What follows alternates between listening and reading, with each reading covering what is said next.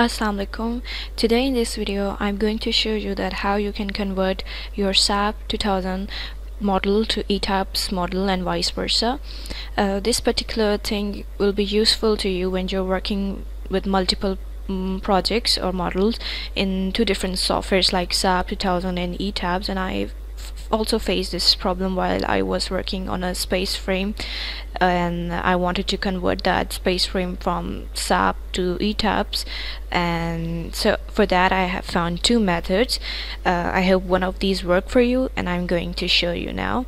So the first method is uh, that I found is from the Computer and Structures Inc. official website and they have provided us with a plugin where you can convert your SAP to ETABS model and vice versa.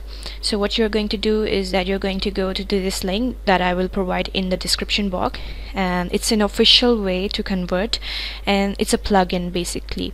So you'll go to this page and it will tell you all the details and how to use this plugin and the all the supported data transfer um, options. So uh, when you scroll down you will come to this download option and you can download any of these uh, plugin versions um, that are compatible with your ETABS or SAP 2000 versions.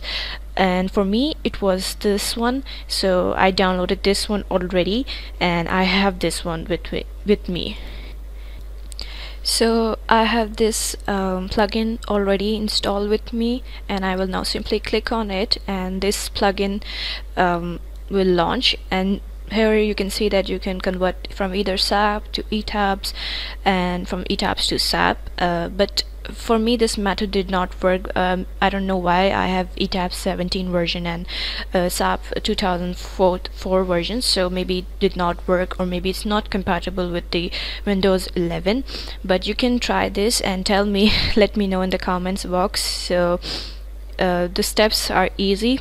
You can simply read this and follow the instructions from the official website. Uh, but the next method that I'm going to tell you that will definitely work for you I hope so it worked for me.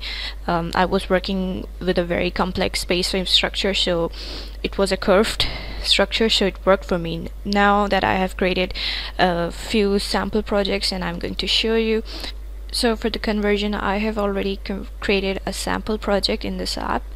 And simply I will just go to the file menu and then to export and then to this option IFC file. Then I will select this and I make sure that is safe to its right right destination. So let's click on OK and it says that the sample is written out okay. So click on ok. Now what you're going to do is that you're going to open your ETABS and wait for it.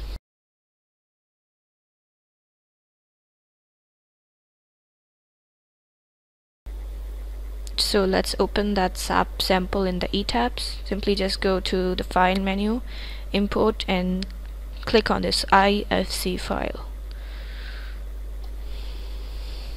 and now you will open the same sample file that you have saved in that SAP.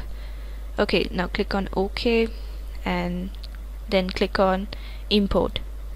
It will import all the members all the structure members um, in the ETABS model. Now you can clearly see over here. And yes it's it's imported now. So this was our SAP sample file and now it's important imported in the ETABS. So make sure that you have already defined the material and the frame properties in the ETABS model so you can get the same material and frame properties over here. Otherwise you have to define it again. And we will do the same for ETABS now. So we want to make sure that this method works for us. So let's click on okay no. And yeah and let's go to ETABS sample file that I have created so it's a different sample from the one that I have made for SAP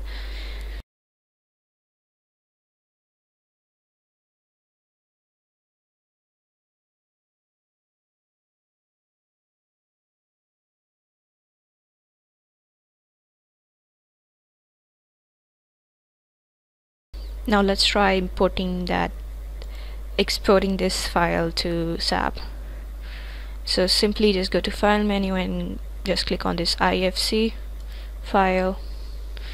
And we want to save it. Okay it's in the right direction. You can see the file contents are 32 columns and 48 beams. Click on OK. Now let's open our SAP and import over here click on browse and we want the ETABS sample. So let's import the same 32 and 48 beams.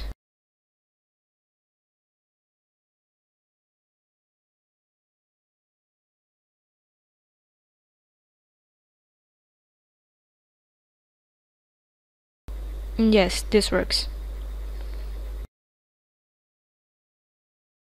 so yeah that's it and I hope you like the video. If you have any queries you can comment down below and for more videos like this stay tuned with structure geek